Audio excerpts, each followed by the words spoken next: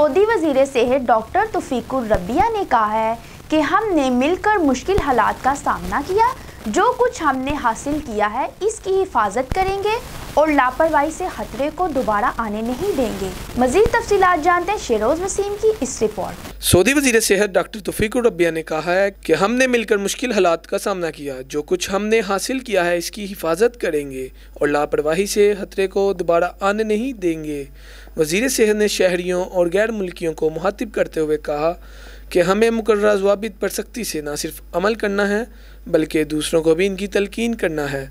हमारा स्लोगन, होना चाहिए, ताउन करेंगे, लापरवाही नहीं।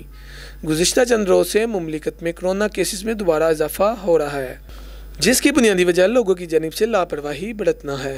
वजारत सेहत की जानब से कोरोना से बचाव के लिए घरों से बाहर जाते हुए मास्क का इस्तेमाल लाजमी करार दिया गया है, ताकि कोरोना वायरस की नई लहर पर भी काबू पाया जा सके।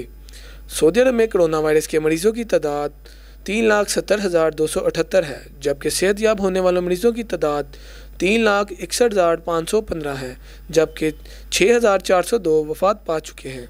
सऊदी अरब में कोरोना के नए केसेस गुजशत चंद दिनों से मुसलसल तीन सौ से ज़्यादा सामने आ रहे हैं, जबकि 24 घंटे में कोरोना के तीन सौ छियासी नए मरीज़ सामने आए और दो सौ तिरासी अफराद वायरस से सेहत याब भी हुए हैं। सऊदी अरब और रियाज भत्तानाज केरला मार्केट, सफ़ा मक्का अस्पताल के करीब हशाम ओकला फार्मेसी आपकी खिदमत में पेश पेश हर किस्म की म्यारी मेडिसिन पर 10 फ़ीसद डिस्काउंट हासिल कीजिए।